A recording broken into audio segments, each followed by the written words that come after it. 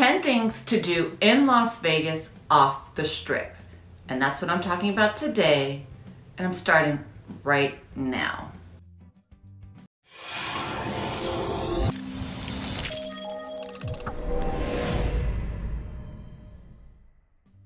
Hey everyone, welcome back to my channel. I'm Angela O'Hare, a local Las Vegas realtor. And today I'm going to talk about 10 things that you can do here in Las Vegas that does not involve the strip. When people think of Las Vegas, they think of the glitzy casinos, the strip, downtown. They think of the party life, the nightlife. But Vegas isn't just all about that. There's so many things that you and your family can enjoy that does not involve the strip. So my goal is to go over 10 of them and most of them are outdoor type activities. People think that, you know, Las Vegas is just the strip and when they come and visit, they all they know about Las Vegas is the strip. So if you're thinking about moving to Las Vegas, I hope this helps you. Um, there are 10 things and there's more things that you could do off the strip, but I just picked my top 10 things that I feel everyone should experience when they live here. Or if not, when you visit here. And the number one is Red Rock Canyon National Conservation Area. Red Rock Canyon is located just a few miles west of the Las Vegas Strip and you get there off of 215 and Charleston you head west on Charleston. And it's about 200,000 acres in the Mojave Desert. So this it's a pretty big conservation area. And it is known for its geological features such as towering red sandstone peaks and the Keystone Thrust Fault, as well as the Native American petroglyphs. The one-way 13-mile scenic drive through Red Rock Canyon allows visitors to explore the highs and lows of the canyon from their vehicle or bicycle, with many scenic stops and trailheads along the way. Entrance fees support visitor facilities and upkeep of this world-renowned scenic drive.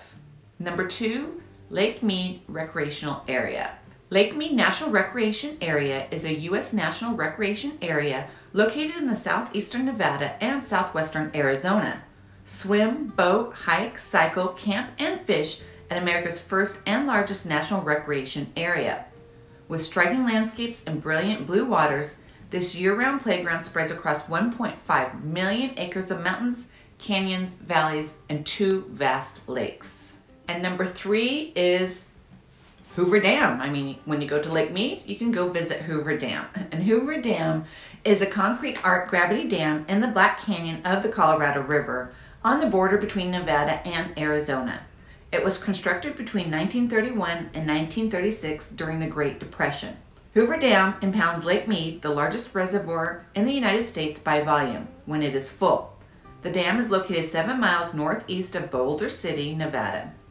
The dam's generators provide power for public and private utilities in Nevada, Arizona, and California. Hoover Dam is a major tourist attraction. Nearly a million people tour Hoover Dam every year. And number four is Lake Las Vegas. So after you've visited Lake Mead and Hoover Dam, on the way back, you can take a tour of Lake Las Vegas. Lake Las Vegas is actually in Henderson, Nevada, even though it says it is Lake Las Vegas. It actually is in Henderson.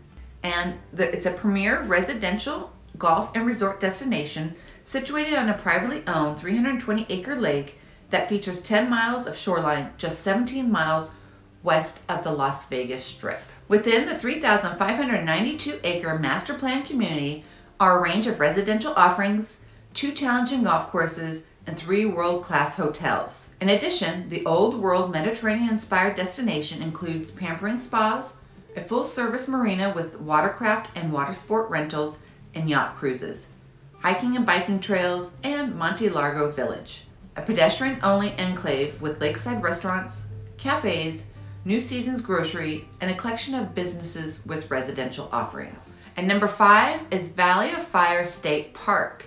And Valley of Fire State Park is a public recreation and nature preservation area covering nearly 46,000 acres located 50 miles northeast of Las Vegas.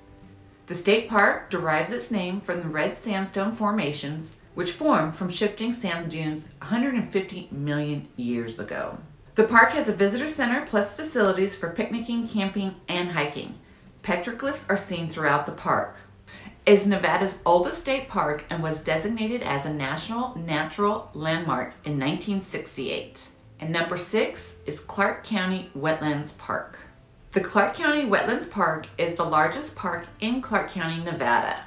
The park is on the east side of the Las Vegas Valley and runs from the various water treatment plants near the natural beginning of the Las Vegas Wash to where the wash flows under Lake Las Vegas and later into Lake Mead.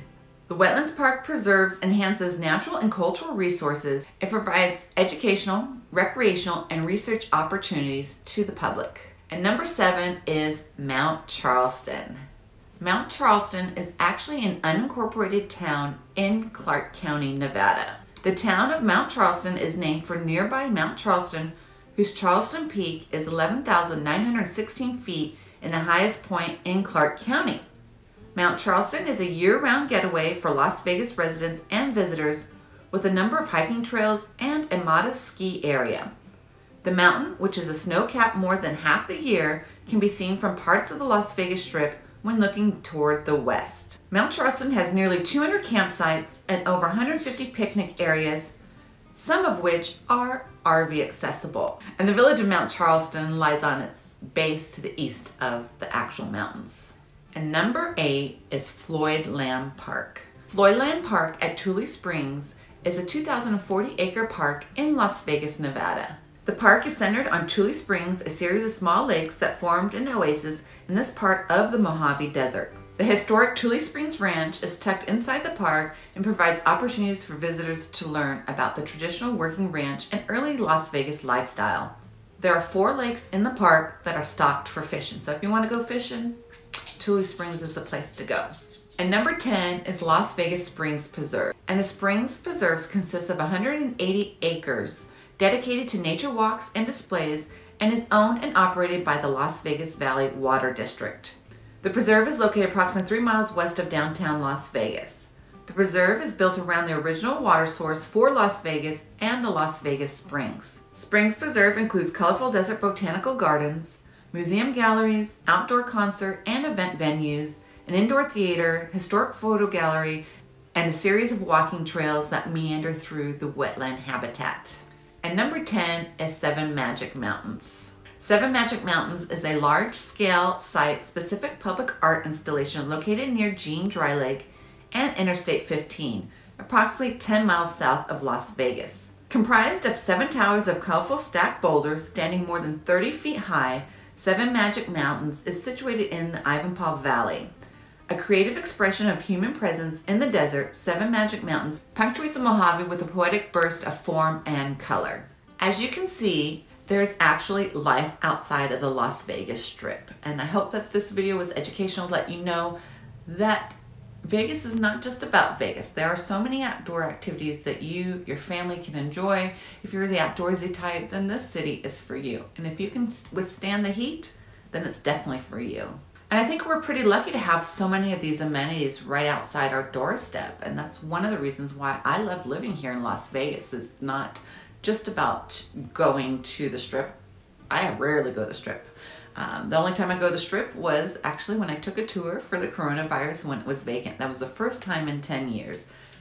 Who wants to go take two hours to go up and down the strip and deal with all those tourists? No, thank you. I'd rather enjoy Red Rock Canyon, Mount Charleston. Beautiful, beautiful, beautiful. That's all I have to say. Leave a comment down below if I missed something that's outdoorsy that you can enjoy here in Las Vegas. Um, I think I covered almost everything, but you never know, I may have missed something. And as always, if you like this video, be sure to hit that thumbs up button, leave a comment down below, share with a friend, and consider subscribing to my channel if you're interested in learning everything and anything about the Las Vegas Valley. Thanks so much for watching today. I'll see you guys on the next one.